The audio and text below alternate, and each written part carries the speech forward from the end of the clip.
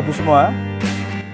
Hari ini saya akan umumkan untuk harga Brio Di bulan April tahun 2023 Untuk Brio Satya sudah mengalami kenaikan.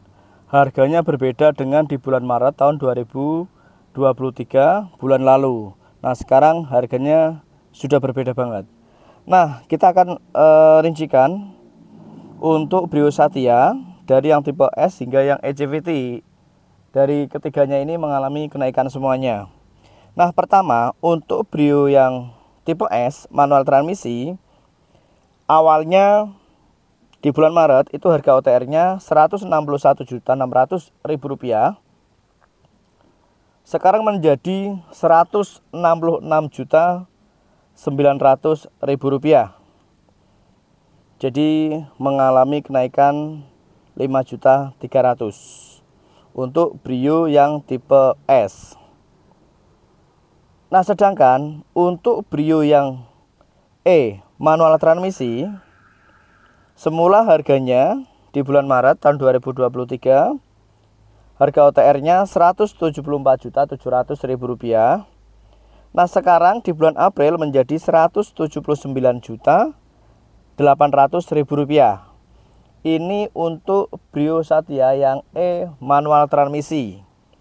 Berarti ada kenaikan harga 5 juta 100 ribu rupiah. Ini untuk yang Brio manual transmisi.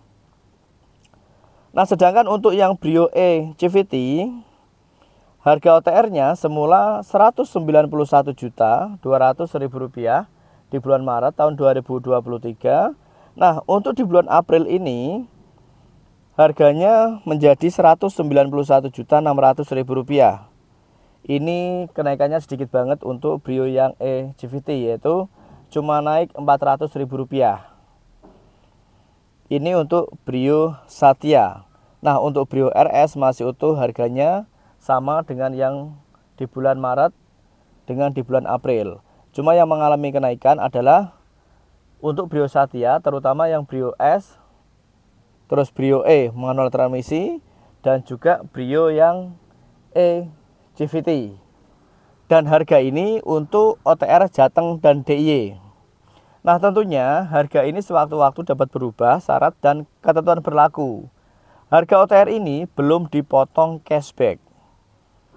Baik teman-teman mau beli cash kredit itu ada cashbacknya semuanya. Dan harga ini belum dipotong cashback baik yang E CVT, E manual transmisi ataupun yang tipe S. Jadi harga ini belum dipotong cashback atau belum dipotong diskon. Nah, untuk informasi penjualan di tempat saya itu meliputi kota Semarang, Kendal, sekitarnya, Jawa Tengah.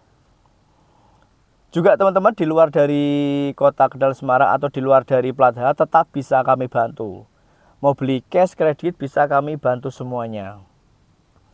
Untuk kredit, teman-teman yang di luar dari plat H, DP minimalnya adalah 25%. Jika teman-teman yang di wilayah dari Kendal Semarang sekitarnya, bisa DP minim yaitu DP 15% untuk Brio baik yang manual ataupun yang CVT. Dari mulai yang tipe S, E manual transmisi ataupun yang E CVT. Dan nomor telepon saya pribadi sudah saya cantumkan ada di deskripsi. Mau beli cash kredit bisa kami bantu semuanya. Dan untuk Brio di tempat kami stoknya ready. Bisa pilih warna dari yang tipe E manual transmisi ataupun yang E CVT. Yang tampak pada layar ini adalah Brio Satya yang E CVT. Nah ini Brio Satya yang E CVT tempat kami ready. Mau pilih warna kuning grey putih tempat kami ready semuanya.